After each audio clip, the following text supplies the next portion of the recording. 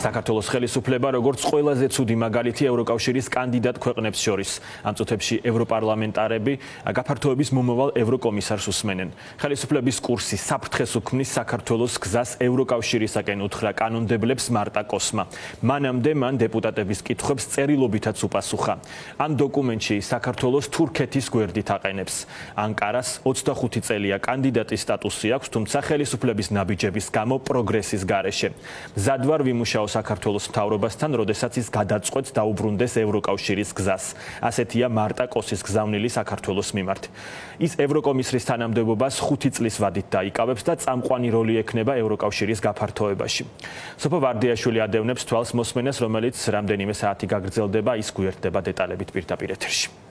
დიახ ლუკა 2 საათია უკვე გრძელდება ეს მოსმენა და კიდევ უსვამენ ევროპარლამენტარების შეკითხვებს. მარტა კოს რომელიც შესაძლოა თუ დაამტკიცებენ გახდეს ევროკავშირის შემდეგი კომისარი გაფართოების საკითხებში რაც არის ძალიან მნიშვნელოვანი თანამდებობა საქართველოსნაირი ქვეყნისთვის რომელსაც აქვს კანდიდატის სტატუსი უკვე ევროკავშირის თუმცა ის მას ჯერ არ დაუწყია ევროკავშირში გაწევრიანების პროცესი.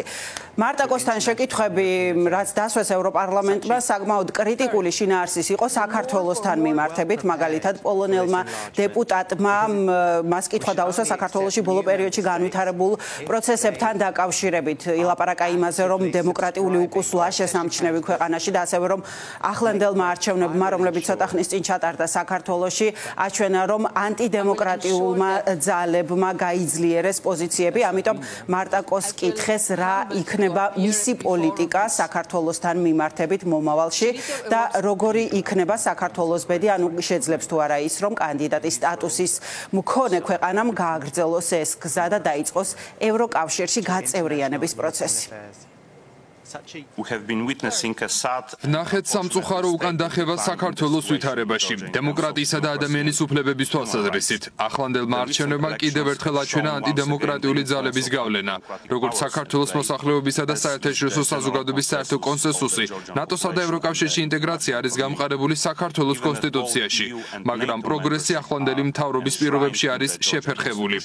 რა გზას ხედავთ ევროკავშირის საქართველოს ურთიერთობისთვის?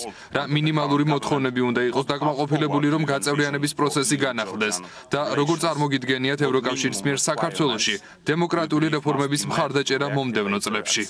I have a message for the people of Georgia. Don't give up the hope საქართველოს ხალხისთვის მაქვს გზავნილი არ დაკარგოთ იმედი. ჩვენ მზად ვართ გავაგრძელოთ გაფართოების პროცესი. პირველი პირობა იქნება რომ საქართველოს მთავრობამ გვაჩვენოს რომ სურს ამ გზით სვა ველით რომ გააუქმონ ორი კანონი უცხოური გავლენისა და ოჯახური ღირებულებების კანონები. ეს იქნება პირველი ნიშანი. ჩვენ მზად ვართ მხარი დავუჭიროთ საქართველოს ევროკავშირში გაწევრიანების გზაზე. მოვამზადეთ ფინანსური დახმარების პაკეტი. არამხოლოდ მთავრობის რეფორმებისთვის არამედ ასევე სამოქალაქო საზოგადოებისთვის. ვფიქრობ, ჯერ არაფერი გაკეთებულა და არაფერი დამთავრებულა. ვიმედოვნებთ თქვენი მხარდაჭერით, შევძლებთ გავაგრძელოთ საქართველოს დახმარება. სამოქალაქო საზოგადოებისადმი მხარდაჭერა მთელი ამ მოსმენის პერიოდში ძალიან ბევრჯერ იყო ნახსენები და აქცენტი და ხაზგასმა იმაზე, რომ ევროკავშირი მზად არის, რომ თავრობების მზაობების შემთხვევაში თუ ისინი რეფორმებს გაატარებენ მათი მხარდამჭერის მხარდაჭერის გარდა, ასევე მნიშვნელოვნად დაეხმაროს სამოქალაქო საზოგადოებას. კიდევ ერთი კითხვა, რომელიც დაუსვეს მარტა კოს და რომელშიც მოიაზრებოდა ასევე საქართველოს კონტექსტი, ეხებოდა ჰიბრიდულ საფრთხეებს აღმოსავლეთ პარტნიორების ქვეყნებისა თუ კანდიდატის სტატუსის მქონე ქვეყნების წინაშე და ამ შემთხვევაში ახსენეს რუსეთი და ქვეყნები, რომლებიც განიცდიან მნიშვნელოვან საფრთხეებს რუსეთის მხრიდან, ჰიბრიდულ საფრთხეებს თუ პირდაპირ ომს ომი მიმდინარეობს რუსეთის მხრიდან ამ ქვეყნების წინააღმდეგ და კითხვა შეეხებოდა იმას, როგორ აპირებს პოლიტიკის გატარებას ამ ჰიბრიდული საფრთხეების დასაძლევად ამ ქვეყნების მიმართ, რომლებშიც ნახსენები იყო საქართველოს და მისი მეზობელი ქვეყნები. They all face hybrid threats or even war. აღმოსავლეთ პარტნიორობის ქვეყნები ბევრი გამოწვევის წინაშე არიან. ისინი ყველა არიან ჰიბრიდული საფრთხებისა თუ ომის წინაშე. უკრაინა, მოლდოვა და საქართველო არიან რუსული აგრესიისა და ჩარევის მსხვერპლი. ბელარუსელი ოპოზიცია ჯერ კიდევ იბრძვის დემოკრატიული მომავლისთვის. აზერბაიჯანში კი მთავრობა თავს ესხმის დისიდენტებს და ადამიანის უფლებათა დამცველებს. მდგომარეობა სერიოზულად გაუარესდა. ეს ყველაფერი მკაფიო ხედვას მოითხოვს და გამიკვირდა, როცა თქვენი მისიის შესახებ წერილში ამის შესახებ ლაპარაკი არ იყო. გააძლიერებთ თუ არა კანდიდატ ქვეყნებს უსაფრთხოების ინსტრუმენტებით გარეჩარებების წინააღმდეგ და რას გააკეთებთ დემოკრატიული ძალებისა და სამოქალაქო საზოგადოებისთვის, რომლებიც იბრძვიან ევროპული ღირებულებებისთვის ქვეყანაში, როგორებიცაა საქართველო, სომხეთი, ბელარუსი და აზერბაიჯანი. ჩემი მუშაობის დროს აღმოსავლეთ პარტნიორობის საკითხზე გამამახვილებ ყურადღებას. ჩვენ ადაპტაცია უნდა მოვახდინოთ ახალ რეალობასთან. სავარაუდოდ ვიმუშავებ ორი მიმართულებით. ერთია გაფართოება, რადგან ახლა ყვავს უკრაინა და მოლდოვა ევროკავშირისკენ მიმავალ გზაზე. და იმედი მაქვს, რომ საქართველოც დაუბრუნდება ამ გზას. ვიმუშავებ უმაღლეს წარმომადგენელთან ასევე შავი ზღვის სტრატეგიაზეც.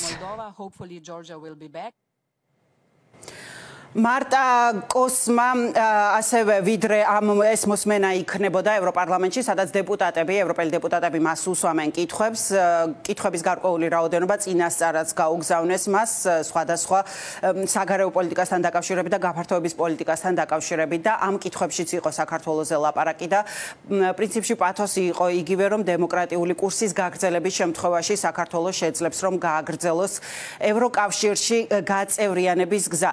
ამ მოსმენის დროსაც რამდენჯერმე გამოიმეორა მარტა კოსმა რომ ევროკავშირში გაწევრიანების გზა არის დაფუძნებული დამსახურებებზე ქვეყნებისთვის.